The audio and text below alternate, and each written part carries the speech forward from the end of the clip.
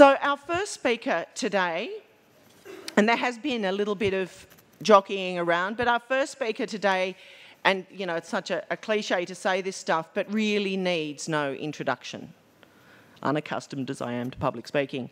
Um, Ian Kiernan is the founder and chairman of Clean Up Australia, and that's an organisation that has just mushroomed and now it's Clean Up the World. And as I said before, my understanding of what drives Ian Kiernan is he saw the filth in the oceans and it just depressed him so much. And this comes back to what I was saying before about the power of one. You don't have to accept what you get.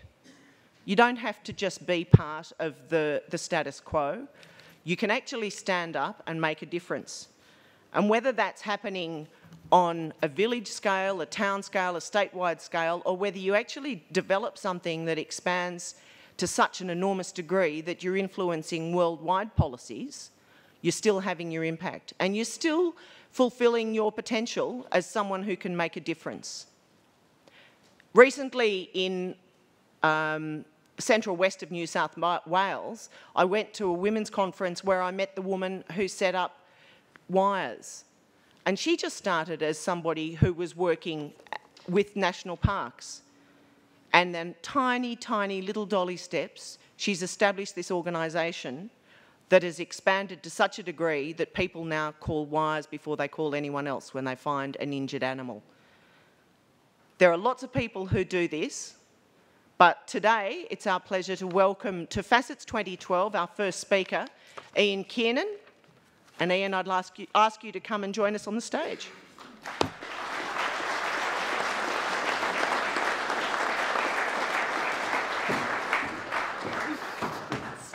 Thank you. Well, thank you for the welcome, and I would like to acknowledge our Wiradjuri people who, uh, whose land we stand upon or share, share with them. Now, I'm sorry that I don't have an electronic uh, presentation, but my uh, server has crashed. It's like being deaf and dumb. It's not very comfortable. So it's back to the old-fashioned printed one. And I know I'm not meant to read it, so I'll try not to. But uh, we've got to realise that uh, we live in a rapidly changing world, changing largely because of us, because of humanity. And what it means is that we have got to change or put aside uh, yesterday's methods and behaviours and develop and embrace new ones that are more uh, suitable uh, to, towards a, sustainable future. We have got to support and embrace uh, new and evolving environmental technologies. I've had the, uh, the great honour of uh, chairing two cooperative research centres firstly for the CRC for waste management and pollution control, and then after that, when that hit its sunset, uh, for the CRC for environmental biotechnology. And I am fascinated by science. I really love it. And uh, I'm, I'm not qualified as a scientist, but I really am a fan of it. And when I see these wonderful technologies emerging that are going to solve or are solving environmental problems while the, the owners of the technology, the corporations that own them, are making money, I find this equation to be absolutely excellent. And um, if I talk about a sustainable future, well, let's put that into context. What is a sustainable future? Uh, or go back one step further, what does sustainability mean to you? To me, it is a philosophy under which we respect our place in the world. We are a species that will have a finite time on this planet. We have a, a responsibility to leave this earth that has sustained us, uh, and we have a responsibility to leave it in as good a shape uh, or better than when, when we first evolved. It would be even better if we could achieve this, but it's unlikely to happen uh, given the current situation. We seem to, because uh, we have this attitude, we seem to think that we are some sort of supreme being uh, and that we own the earth. Well, I think we would be far better off uh, to follow the example set by our Aboriginal people under which they believe that they are not the owners of the earth, but rather belong to it and are a part of a complex and diverse uh, ecosystem. The practice of this philosophy is one that I want to explore with you this, this, morning. I'm absolutely fascinated by our, our Aboriginal uh, heritage and, and inheritance. Uh, I mean, they lived here so, so effectively and so comfortably for millennia. And then we wandered in in thick red coats and stupid hats. And, uh, and uh, I have um, read with great interest Watkin Tench uh, in his particular book, 1788. He was a captain lieutenant in the Marines. Um, with the First Fleet, and he was a man of letters. He could write, which was unusual. So that his publications were available long before the, uh, the well-equipped scientists and historians. He was years ahead of them. And uh, it's fascinating reading, and I commend it to you. And he went uh, with the Aboriginal people out to discover the junction of the Hawkesbury and Nepean, uh, which they did. And on the third night out, the Aboriginal people put on a, essentially a corroboree because they are wonderful uh, artists, if you like, and wonderful mimics. And in this corroboree, they, they mimicked every stupid, bumbling move of the red coat stumbling through the, and not understanding the land. To me, that cap really captures it. And, um, but, um, pardon me. If we look at exploring uh, this, this world as we know it, I think that we should start with the production of what we consider to be a basic necessity, energy. That's why I'm on reading from paper today, because energy failed me and the server crashed. But um, it is claimed that coal is a cheap source of energy. Any miners here today? I mean, I love the mining industry, we need it, but uh, you're going to find out that I'm not too keen on coal. Um, and when we claim that uh, coal is a cheap source of energy, that is absolutely incorrect if you consider the true cost of coal production and its emissions.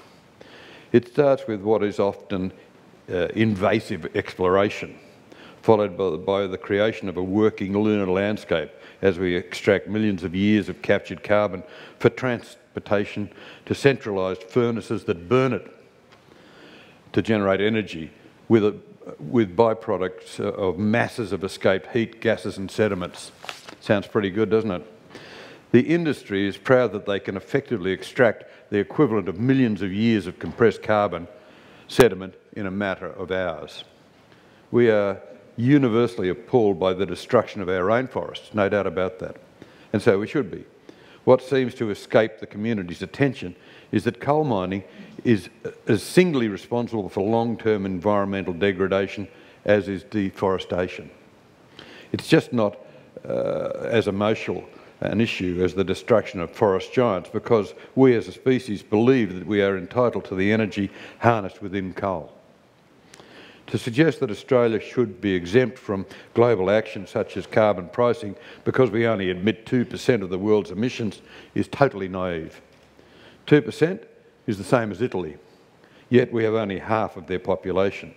And that's before you consider the coal we mine, sell and ship to distant ports across China, India, Asia and beyond, or all of the, or all of the single-use products we make, the byproducts of which are accumulating faster than we can effectively dispose of them, or the impact of the chemicals we now need to produce our food, simply because we have depleted soil fertility through poor agricultural practice.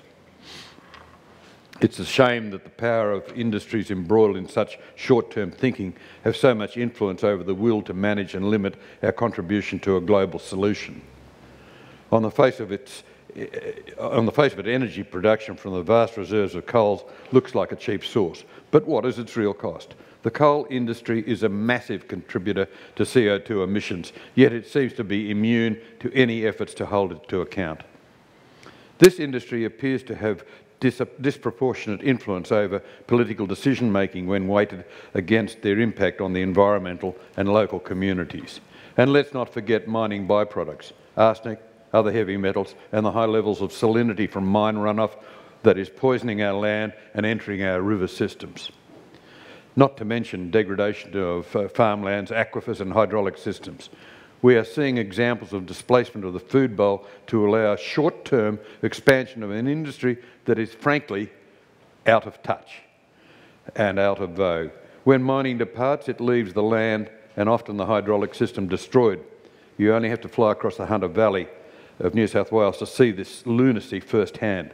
Farmers are being forced off the land by the corporate greed of mining corporations, many of the multinationals, supported by state and federal government because it's jobs, it's votes, it's income, it's all of those things. How much coal can you eat? Not too sure about that one. Why, why, why are we happily selling the environmental future to, of next generations?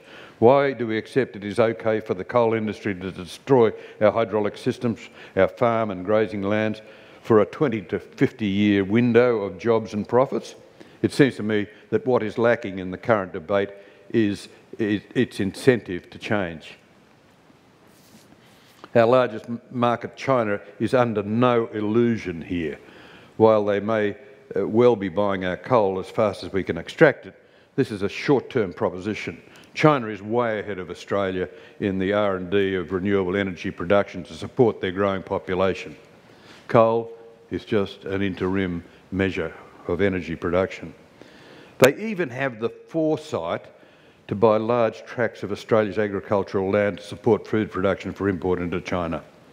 And we seem to think this is a good idea. It is incredibly short-sighted as well as being of short-term uh, commercial benefit. If we added up the lifetime of all of us here today, we would not come close to having enough time to replace sediment that formed the energy source on which our GDP is based. It is clear to me that the complexity of the challenge facing us will be best addressed by a range of simple actions that encourage us to live in harmony with the environment we've received many awards at Cleanup, and every time I accept one, I accept them on behalf of you if you are one of the supporters of, of the, of the, uh, the cleanup philosophy. And we have more than 7,000 cleanup sites across Australia, so it's, it's pretty far-reaching. And uh, I was awarded an Honorary Doctor of Science through the University of New South Wales, and I was greatly honoured by this. But any time I've won an award, I've always looked at how I can uh, leverage it for the benefit of cleanup in the long term.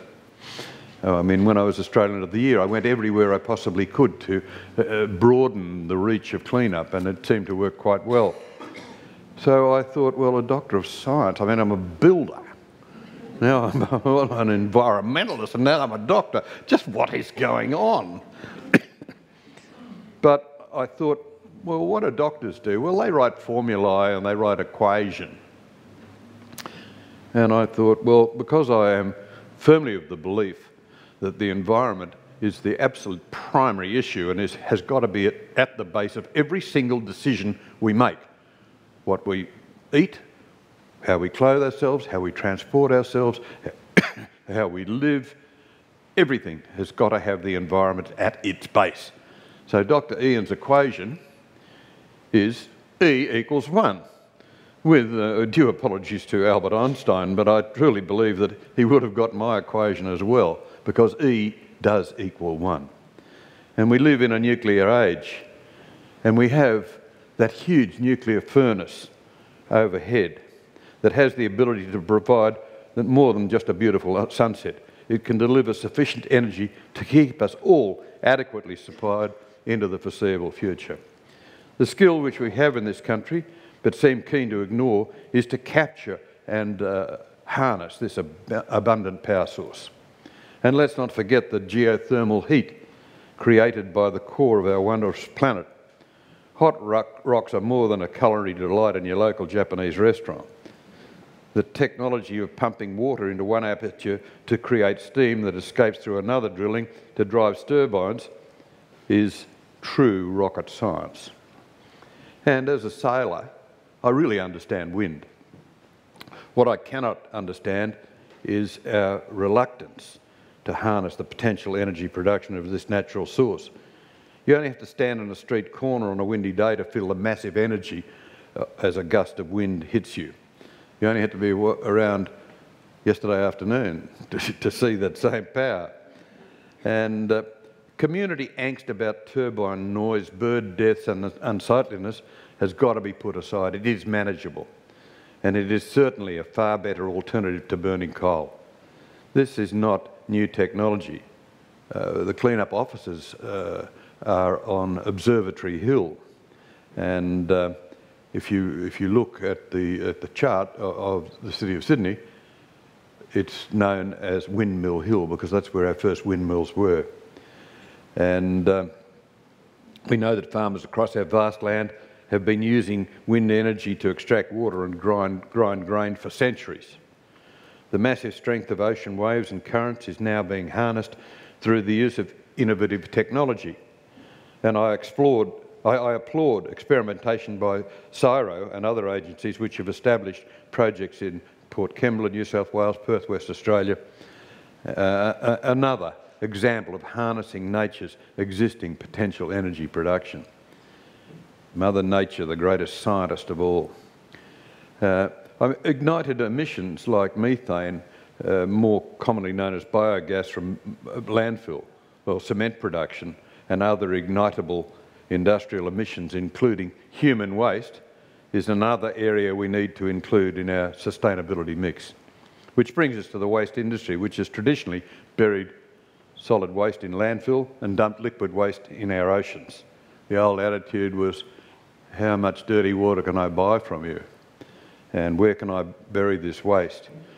Well, those days are behind us, fortunately, and today the leading waste companies have evolved into resource recovery operators as they harness the heat and flammable gases from decaying organic waste, as well as recovering the recyclables. The conversion of plastics back to usable oil is another practical example of clever energy production. So there it is. My E equals world one is about an equation where humanity captures the energy we need for an energy-rich future from solar, subterranean, wind, wave and waste energy. That's what the future is about. We have the technology, we just have to change the expectations and behaviours of the human animal. So, my fellow Homo sapiens, uh, it's much better to call you that than the previous, uh, I invite you to join me in this quest. Every one of us and can and should become more energy conscious today. Start with solar, maybe hot water. It's the single greatest user of energy within your rising bill. And when you think about it, we go and heat this water up and we keep it hot day and night and day and night and on holidays and all of this time, burning up huge amounts of energy. There is a better way, and solar is certainly that. And, and uh, have you ever thought about the wonder that solar cells or the installation of a small wind turbine on your roof? It's not fanciful, it is practical and possible now. What's the velocity of that creek that runs through your property? You can get a water turbine to feed into your grid. There are so many things that you can do. Go looking, go looking, go investigating. One thing for certain is that energy is not going to get cheaper and our consumption of it is only likely to increase. Another certainty that our energy future must not rely on coal production. Why is this important? because A equals 1. And the future, it's in your hands. Thanks so much.